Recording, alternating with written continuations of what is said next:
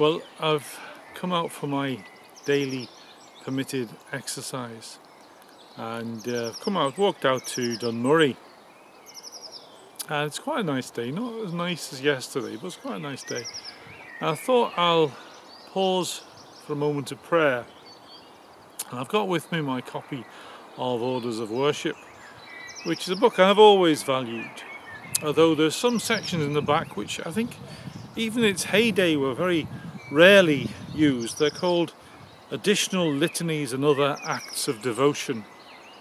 And there's a lot of uh, wisdom in them, there's a lot of value in them. And I like to read now what's termed an act of Christian remembrance. So let's join together in prayer. Let us pray. As many as are led by the Spirit of God, these are sons of God. The mind of the Spirit is life and peace. The Spirit beareth witness with our spirit that we are children of God. If children, then heirs, heirs of God and joint heirs with Christ.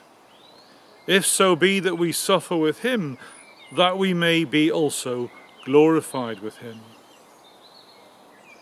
Bear ye one another's burdens, and so fulfill the law of Christ. Forbearing one another in love, giving diligence to keep the unity of the Spirit in the bond of peace. Walk as children of light, for the fruit of the light is in all goodness and righteousness and truth. Let us cast off the works of darkness and put on the armour of light. The kingdom of God is not eating and drinking, but righteousness and peace and joy in the Holy Spirit. Let us follow after things that make for peace. The fruit of the Spirit is love, joy, peace, long suffering, kindness, goodness, faithfulness, meekness, self control. Let us not be weary in well doing, for in due season we shall reap if we faint not. The whole law is fulfilled in one word, even in this Thou shalt love thy neighbour as thyself.